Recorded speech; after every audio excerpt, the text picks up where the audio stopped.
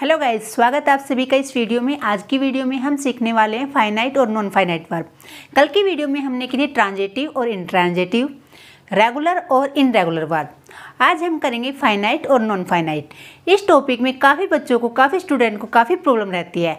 अगर आपने ये वीडियो अच्छे से देख ली, ध्यान से समझ लिया, इतना मुश्किल नहीं है जितना आप लोगों को मुश्किल लगता है। मैं आपको बहुत ही ईजी तरीके से सिखाने वाली इस वीडियो में। वीडियो को लास्ट तक ज़रूर देखना। अगर आप वीडियो को स्किप करके देखेंगे तो आपको कुछ समझ आने वाला नहीं है। वीडियो को स्टार्टिंग से लेकर लास्ट तक अच्छे से समझना और देखना। हम थोड़ा पढ़ेंगे, लेकिन अच्छा पढ़ेंगे। तो हम करते हैं वीडियो को स्टार्ट वर्ब को दो भागों में बांटा गया कौन कौन सी? एक तो आया फाइनाइट वर्ब और एक नॉन फाइनाइट वर्ब अब बात आते है फाइनाइट वर्ब क्या होते हैं? जब भी हम किसी टॉपिक को सीखते हैं या पढ़ते हैं तो सबसे पहला हमारा काम होना चाहिए, जो हमारा टॉपिक है, उसके बारे में हमें नॉलेज होनी चाहिए। कि वो है क्या और वो कैसे काम करता है। जब तक हमें टॉपिक के बारे में क्लियरिटी नहीं होगी, हम आगे नहीं सीख पाएँगे। तो फाइनाइट वर्ब का मतलब होता है, जो भी आपकी डिक्शनरी में, जो भी इस दुनिया में कोई वर्ब है, वो फाइनाइट वर्ब होती है। इट यानी कि डिक्शनरी जो भरी पड़ी है वर्ड से वर्ब से, वो क्या है? हमारी सारी फाइनाइट वर्ब है। गोट इट अब फाइनाइट वर्ब कैसे काम करती है, वो देखते हैं।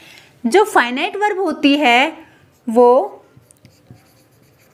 Tense number person.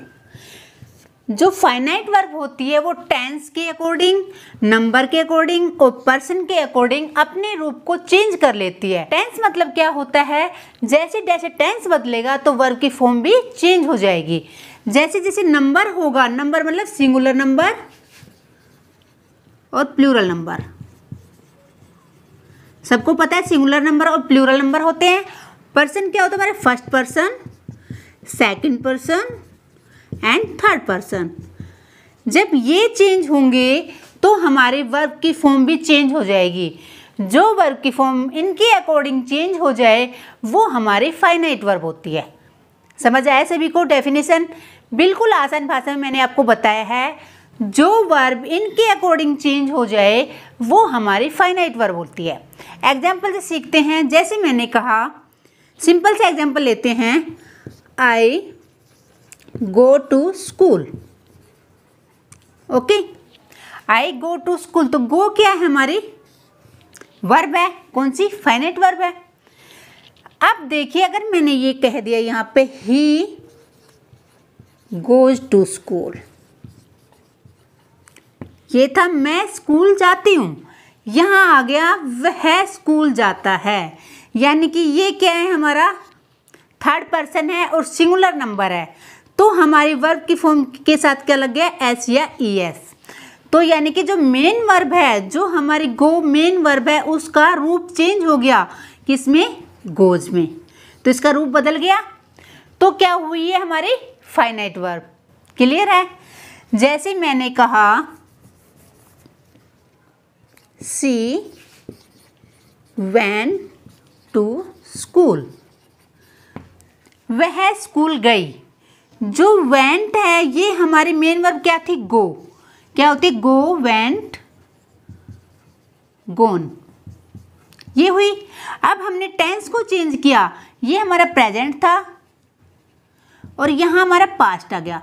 जब हमारा टेंस चेंज हुआ तो हमारी वर्ब की फॉर्म भी चेंज हो गई। आई होप आपको क्लियर हो गया होगा कि फाइनाइट वर्ब क्या होता है। एक बार दोबारा से मैं आपको रिपीट कर देती हूँ। फाइनाइट वर्ब वो होती हैं जो टेंस नंबर और पर्सन के अकॉर्डिंग अपने रूप को चेंज कर ले। यानी कि अपने आप को बदल ले। तो वो क्या होगी हमारी फाइनाइट वर्ब होगी। क्लियर है यहाँ तक? अब बात आती है नॉन फाइनाइट वर्ब क्या होती है।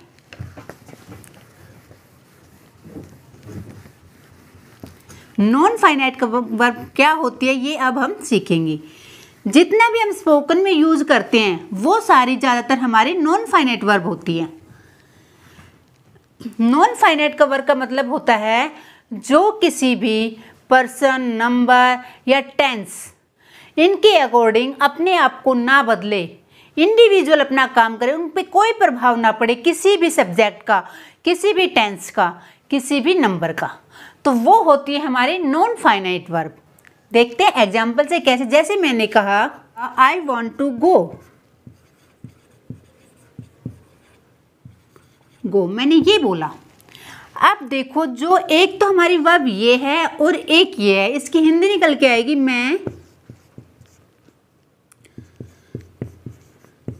जाना चाहता हूँ या चाहती हूँ। ठीक है, मैं जाना चाहती हूँ। इसकी हिंदी ये आई, एक हमारी मेन वर्ब ये है और एक ये है। जो सब्जेक्ट में हमारी, जब हम हिंदी का वर्ड सेंटेंस बोलेंगे तो जो लास्ट में वर्ब है, वो हमारी पहले आ जाएगी। यानी कि पहले आ गई ये। लास्ट वाली वर्ब हमारी पहले आ जाएगी।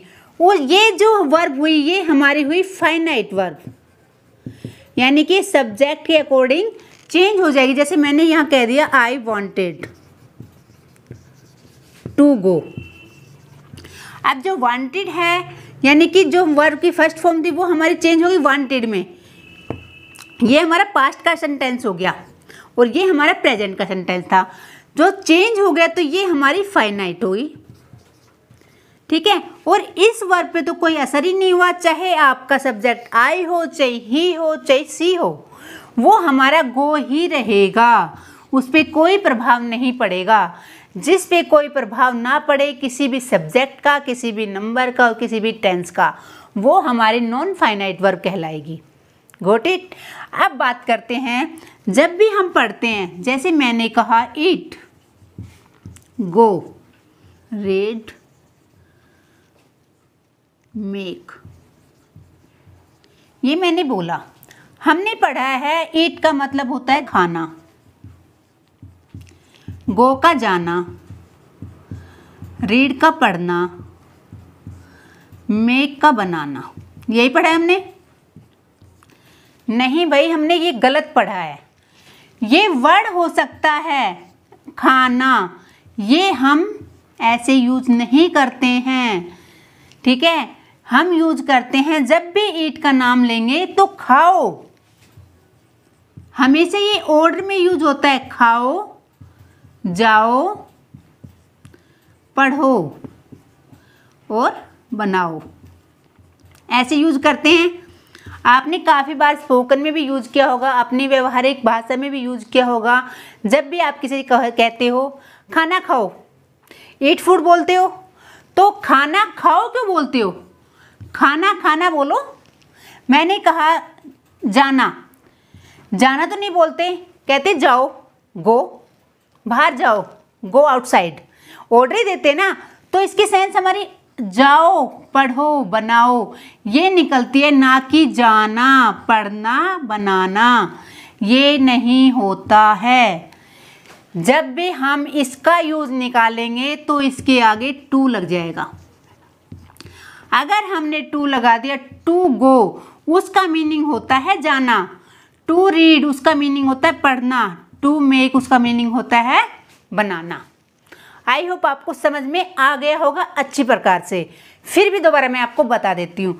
जब भी टू के विदाउट ये वर्ब आएगी हमारी तो उसकी सेंस आएगी, खाओ, जाओ, पढ़ो, बनाओ। ऑर्डर फॉर्म में, किसी को ऑर्डर दे रहे हैं हम, ठीक है? जब इसके साथ टू आ जाएगा तो इसकी सेंस निकलेगी खाना, जाना, पढ़ना, बनाना, ठीक है? क्लियर है यहाँ तक? आगे देखते हैं, अब अपने पॉइंट पे आते हैं हम। जब भी सेंस हमारी निकलेगी लास्ट वाली जो वर्ब होगी, वो सब्जेक्ट के साथ आएगी।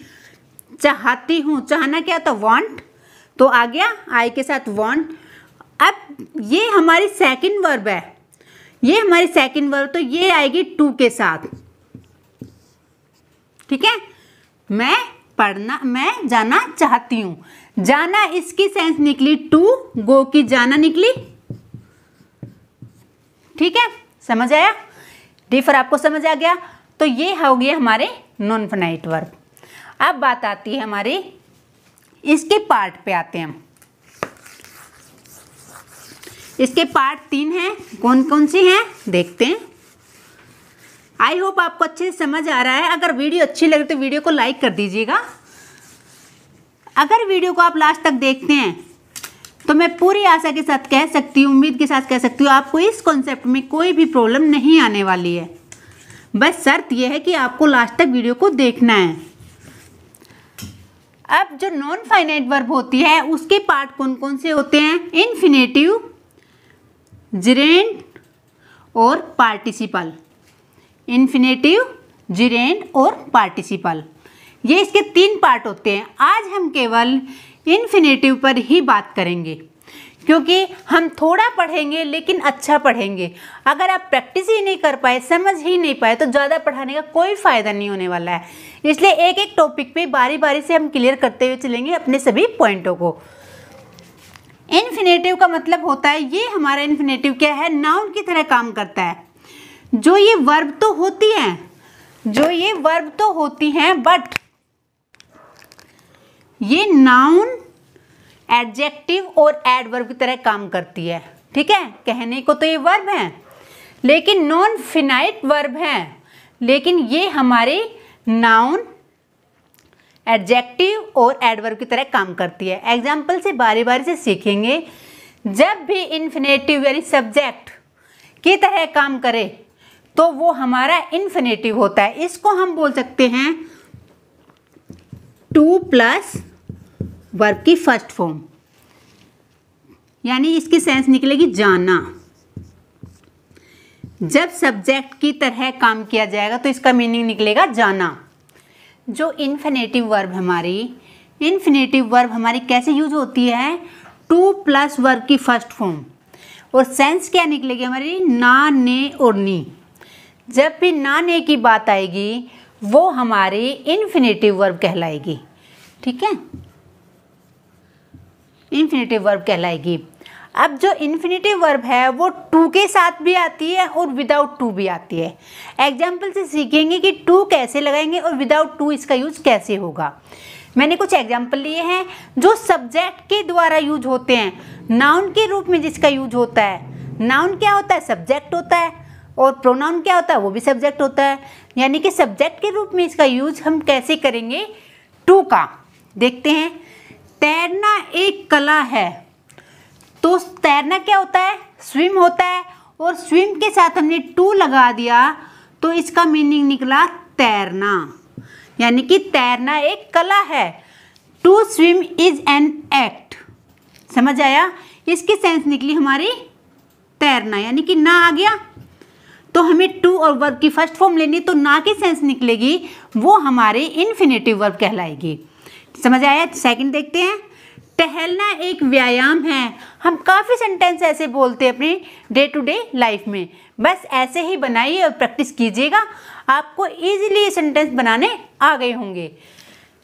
टहलना टहलना क्या होता है? वॉक टू लग गया तो इसकी सेंस आ गई टहलना। ना। ना की सेंस निकली। तो टहलना एक व्यायाम है। To walk is an exercise next देखते हैं। दोस्त खोजना आसान है। तो खोजना क्या होता है? फाइंड होता है। टू फाइंड हो गया। खोजना। मैंने आपको अभी अभी बताया था कि जब टू लग जाता है तो उसका मीनिंग हो जाता है खोजना। अगर मैं यहाँ टू हटा के ओनली फाइंड बोलूँगी तो उसका मीनिंग होता है खोजो। ठीक है? तो इसका क्या होगा? हमारा दोस्त खोजना आसान है। To find fault is easy अगर मैं अभी आपसे कहूँ कि हम्म, कुछ एग्ज़ाम्पल लेते हैं जैसे तुम्हें भूलना आसान नहीं है तो भूलना क्या होता है? फॉरगेट होता है। To forget is not that easy इतना आसान नहीं है तुम्हें भूलना। किसी को माफ़ करना आसान नहीं है। To forgive is not easy someone ऐसे काफ़ी सेंटेंस हम अपनी डेली टू डेली लाइफ में बोलते हैं।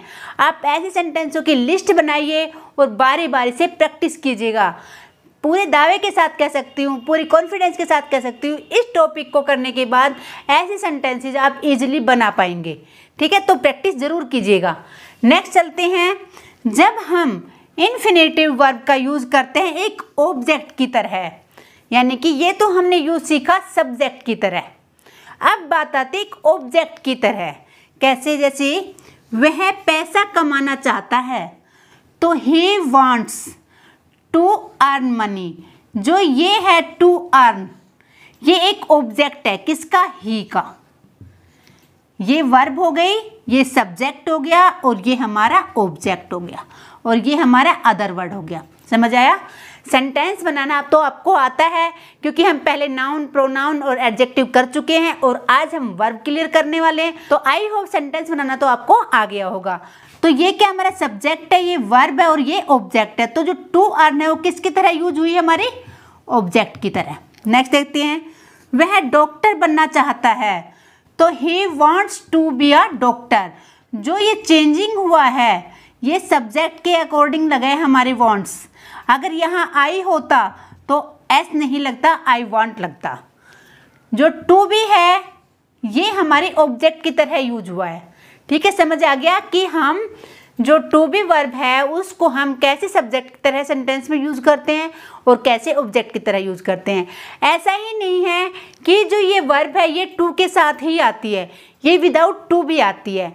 वो कब आती है? जब जो हमारे एक्सिलरी वर्ब होते हैं मॉडल वर्ब उनके साथ जब हम इस वर्ब का यूज़ करेंगे तो विदाउट टू आते हैं। कुछ एग्ज़ाम्पल देखते हैं, आपको ईजिली समझ आ जाएगा। जब हम विदाउट टू की बात करते हैं तो ही कैन से ये क्या है हमारी एक्सिलरी वर्ब है, यानी मॉडल वर्ब है? तो उसके साथ हमारा से आया तो ये विदाउट टू आया, लेकिन ये हमारे इन्फिनेटिव वर्ब ही कहलाएगी। ओके नेक्स्ट देखते हैं।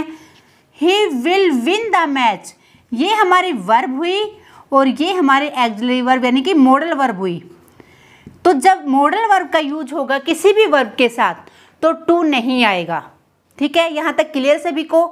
अब एक बात और मैं आपको बताना चाहूँगी। हम डेली टू डेली लाइफ में कुछ सेंटेंस ऐसे ही बोलते हैं। वो कुछ सेंटेंसों की प्रैक्टिस थोड़ा मैं करा देती हूँ, बाकी आपको करनी है। ओके जो इन्फिनेटिव वर्ब है, वो स्पोकन में बहुत ज़्यादा यूज़ होती है। और हम डेली बहुत ज़्यादा सेंटेंस यूज़ करते हैं इसमें। कैसे? जैसे, is, am, are, was, were, will be और टू लग जाए तो इसकी सेंस निकलेगी, मैं वाला हूँ, मैं ये काम करने वाला हूँ। ऐसे सेंस जो निकलेगी तो वो टू से बनेगा।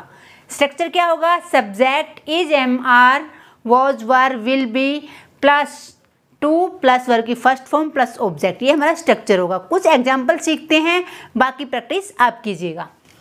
मैं जाने वाला हूँ तो सब्जेक्ट आ जाएगा तो आए आए के साथ एम लगता है। उसके बाद हमारे टू और जाना होता है गो आई एम टू गो मैं जाने वाला हूँ। मैं आने वाला हूँ। आई एम टू कम मैं तुम्हें पीटने वाला हूँ। आई एम टू बीट देखते हैं आगे। गाड़ी आने वाली है। The train the train is to come मैं तुम्हें पीटने वाला हूँ। आई एम टू बीट वह यहाँ आने वाला था। तो क्या आ जाएगा? He was to come here मैं फ़ोन करने वाली थी। सी वॉज़ टू कॉल समझ आया? ये सेंटेंस ऐसे काफ़ी बोलते हैं हम अपने डेली टू डेली लाइफ में। और इनको इस्तेमाल कीजिएगा यूज़ कीजिएगा, तभी आपको वीडियो देखने का फ़ायदा होगा। जब तक आप यूज़ नहीं करेंगे, केवल वीडियो देख के कॉपी बंद करके रख देंगे तो कुछ नहीं होने वाला है। अगर सीखना है, चाहते हो कि हम स्पोकन करें या हम कभी भी कोई भी एग्ज़ाम दें, उसमें हम समझ पाएँ। वीडियो को देखने के बाद प्रैक्टिस ज़रूर करना, क्योंकि विदाउट प्रैक्टिस कुछ नहीं हो सकता। वीडियो देखने से भी कुछ नहीं होगा। आई होप आपको ये टॉपिक अच्छे से क्लियर हो गया होगा। नेक्स्ट वीडियो में हम अगला टॉपिक कवर करेंगे और अच्छे से समझेंगे। तो अगर वीडियो आपको अच्छी लगी हो तो वीडियो को लाइक करके चैनल को सब्सक्राइब कर लेना, साथ ही बेल आइकन को भी प्रेस कर लेना, ताकि आने वाली वीडियो का नोटिफिकेशन सबसे पहले आपको मिले। अगर मेरी वीडियो आप फ़र्स्ट टाइम देख रहे हैं तो लास्ट की वीडियो ज़रूर देख लेना, ताकि ये वर्ब आपको अच्छे से क्लियर हो जाए। मिलते हैं नेक्स्ट वीडियो में, तब तक के लिए राधे राधे